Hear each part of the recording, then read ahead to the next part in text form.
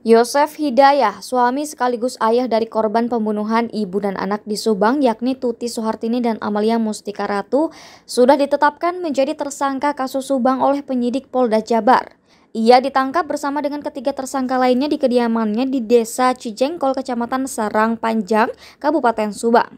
Penyidik dari Direktorat Kriminal Umum Polda Jabar menggelar prarekonstruksi kasus pembunuhan ibu dan anak di Subang, tepatnya di Jalan Caga Kabupaten Subang pada Kamis 19 Oktober 2023 malam sekira pukul 23 waktu Indonesia Barat. Prarekonstruksi digelar langsung di tempat kejadian perkara pembunuhan yang menewaskan Tuti Soehartini dan Amalia Mustika Ratu dengan menghadirkan salah seorang tersangka yakni Muhammad Ramdanu alias Danu.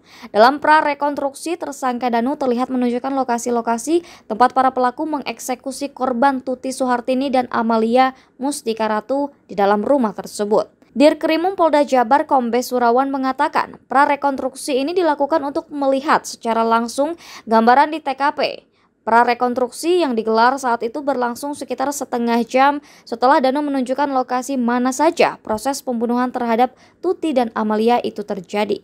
Dalam prarekonstruksi tersebut, pihak penyidik mengamankan satu buah ember yang digunakan Danu untuk membersihkan TKP setelah terjadi pembunuhan.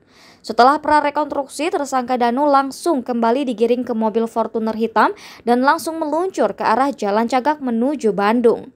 Dari pantauan tribunjabar.id, saat prarekonstruksi berlangsung, tak ada seorang pun warga yang menyaksikan. Selain kegiatan dilaksanakan malam hari, juga sebelumnya tak ada kabar akan ada prarekonstruksi yang dilakukan pihak Polda Jabar. Download Tribun X sekarang, menghadirkan lokal menjadi Indonesia.